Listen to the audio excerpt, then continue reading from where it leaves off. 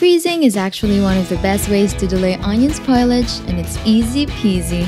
Follow these simple steps and we guarantee you, once you learn how to freeze onions, prepping your meals will be an absolute breeze. First and foremost, make sure to pick fully mature onions. Wash them well under running water, then peel the skin off and chop to your preferred size.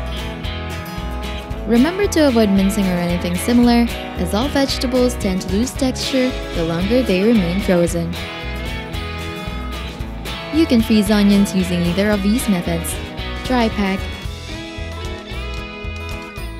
Place the chopped onions in a freezer bag, then squeeze out the air and seal tightly. Lay it flat in the freezer to cool. Tray pack.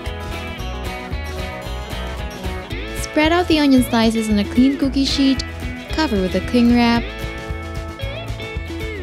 then place in the freezer.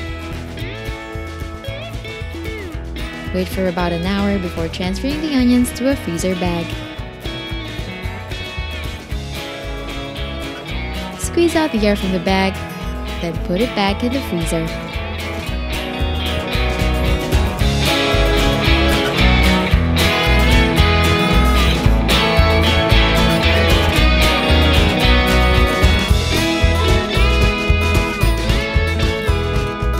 Don't forget to hit like, subscribe, and turn on that notification bell to catch more easy and tasty dishes to try at home.